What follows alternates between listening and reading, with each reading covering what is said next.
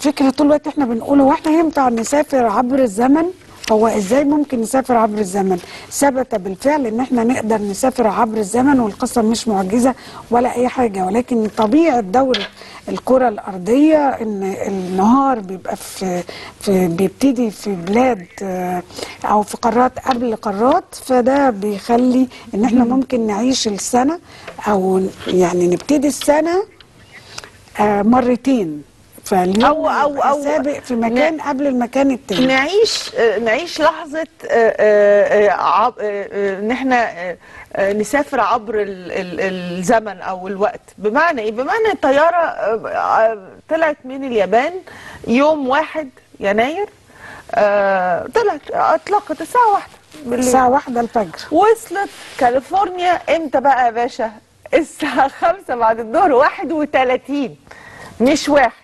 و- وصلت يعني هي مشيت أول ساعة في اليوم الجديد أو في السنة الجديدة ووصلت الساعة خمسة في نص اليوم واحد وتلاتين. فأعتبر أو يع... أو الناس اعتبروا إن الظاهرة دي وفكرة الطيارة دي الطيارة دي بمنتهى الأمانة لو إحنا بنشرحها عادي لو إحنا بنشوف في فيلم ويتعمل عليها فيلم سسبنس كامل هي طائرة سافرت عبر الزمن والناس اللي فيها احتفلوا مرتين بال new year يوم اللي طلعوا منه كان ده new year ويوم اللي رجعوا لكاليفورنيا فيه. انت بتعتبريهم محظوظ إن هم عاشوا التجربة دي بصي ذاكرة حلوة تتحط في الذاكرة. يعني حلوة إن إنها تتحكي.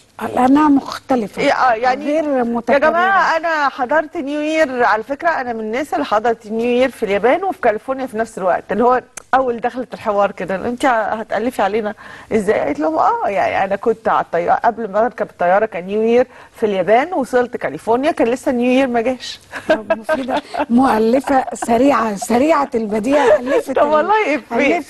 إفيه حلو. الفكرة متاحة في أي وقت مش بس في اليوم ده لو أنت عايز تسابق الزمن ممكن تعملها ليه؟ ليه؟ لأن فروق التوقيت طبعا بت بتخلي اليوم آه، بيبدأ في قارات مختلفة عن مثلا في أقصى الشرق ع- من كوكب الأرض قبل القارات الوسطى والغربية هو كل ده بيأكد إن الكرة آه، آه، آه، بت- بتلف مش فيها هو ده تأكيد للمعنى. يعني انت بتروح وبترجع وبتعمل و- هنا بيطلع الصبح بالليل بينزل بيبقى فيه نهار في بلد تانية بلد تانية تطلع الفجر تبقى انت عندك بالليل. وكلها في عظمة الخالق. آه طبعا. سبحان الله. والتعليقات من مختلف بلدان العالم على الطيارة اليابانية على منصة إكس كانت كلها مساحات من الظرف والفكاهة عن إشكالية السفر في الزمان وحظ الركاب اللي استقبلوا العام مرتين خلال ساعات. طبعا ده غير ال ال ال الزلزال اللي حصل أول يوم في اليابان. ربنا ينجينا سبعة ريختر سبعة وحاجة ريختر الزلزال ده.